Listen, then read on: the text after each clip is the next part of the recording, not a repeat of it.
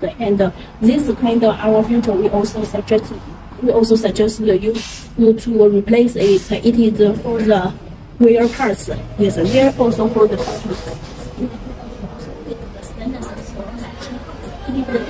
uh, here is that power section.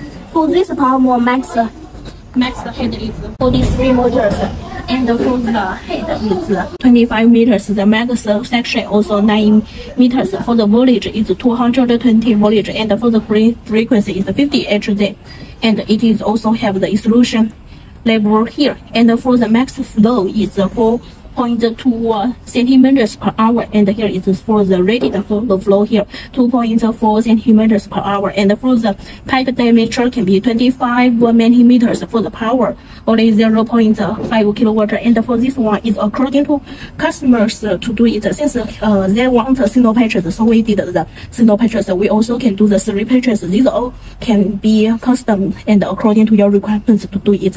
And for this uh, water desalinator we also have the CCS certificate. If you need it, we can according to your requirements do in the your business. In the for this, we also have the one year quality warranty. And for here, we also have the fresh water exposure. That's it is the cool on looking here.